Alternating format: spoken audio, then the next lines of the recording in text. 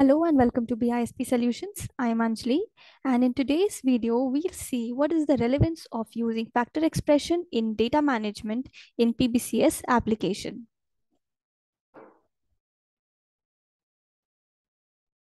So the factor expression is used to factor source file amounts by user-defined values. This type of expression enables you to scale file data by any numeric factor. Using this expression, you can double or half data.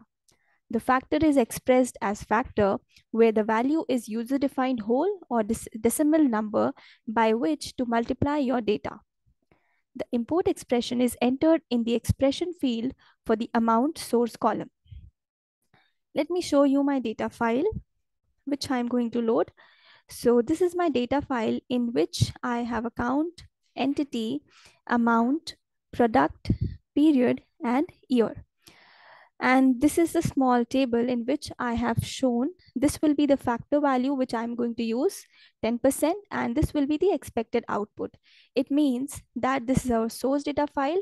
In this, the amount will get multiplied by a factor value and it will result in expected output of these.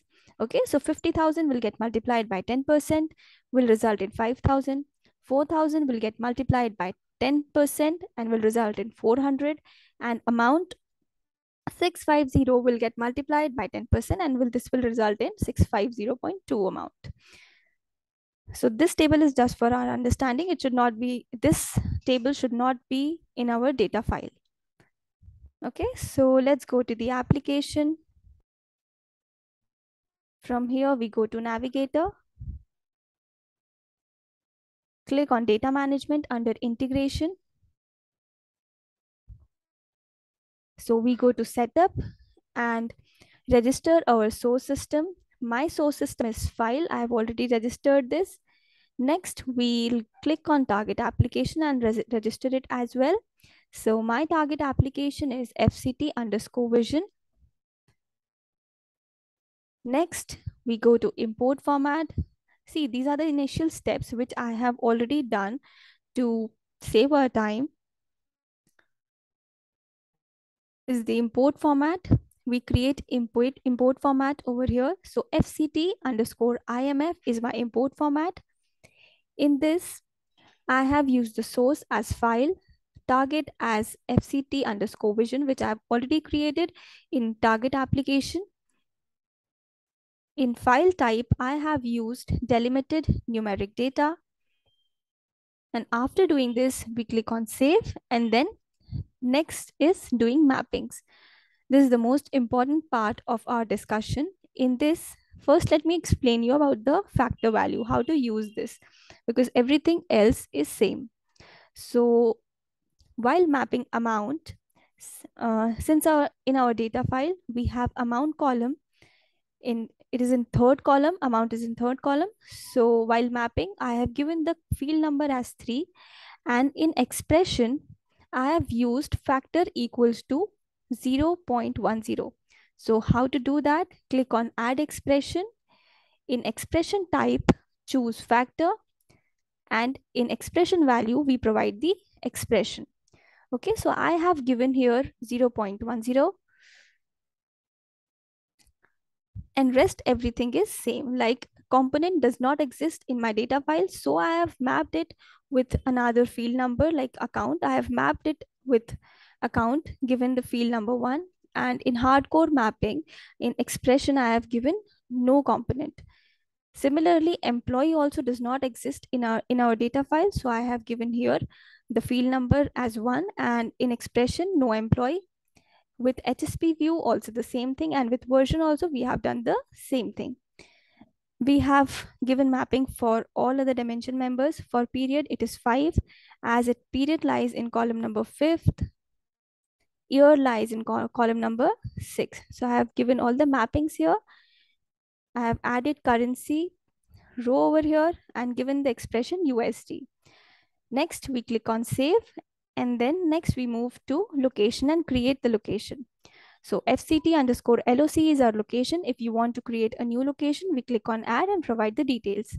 So this is the name of our location. This is the import format and the target.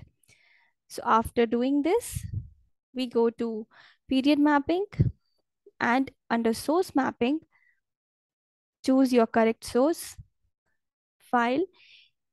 In this, we add, since our data file is for three periods from January to March for the year 2021. So in this, I have provided all the three periods, January, February, and March, and GL year as 2021, and also the calendar here.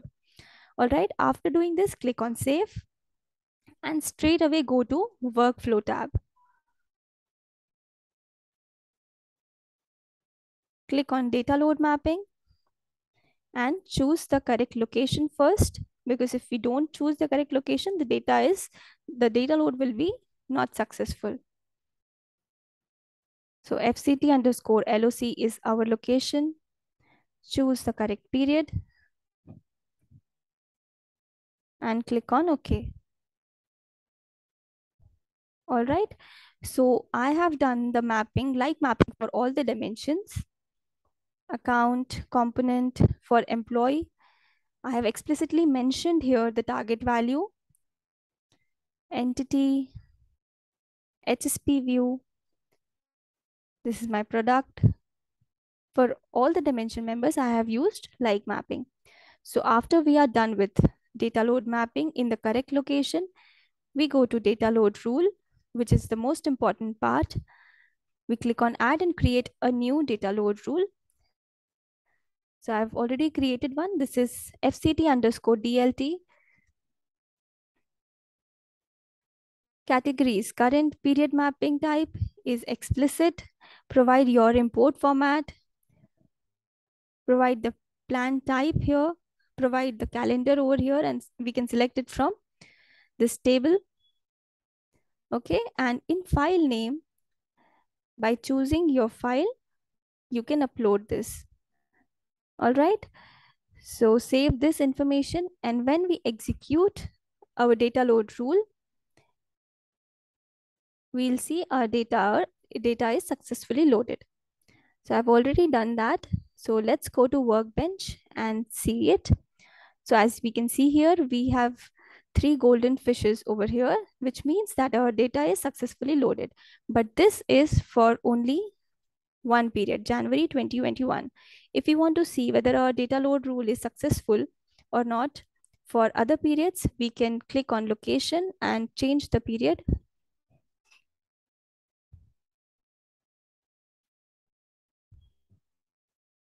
Click on OK.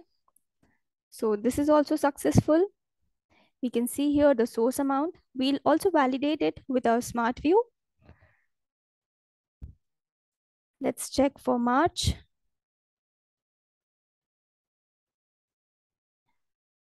So it is also successful, March as well.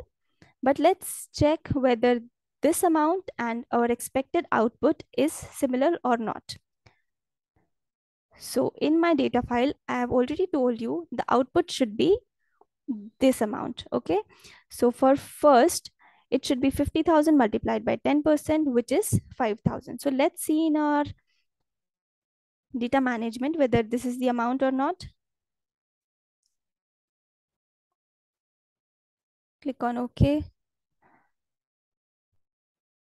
all right so as we can see here the expected out output matches with our data management all right and similarly, we can check for other periods. So I've already made the smart view of it.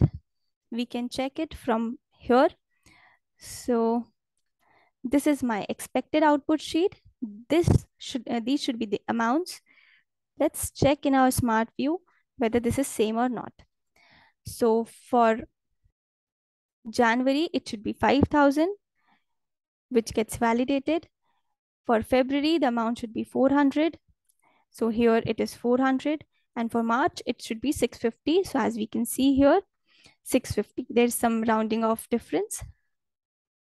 All right. So this is how we use factor expression in data management. That's all for today. Thank you and have a great day.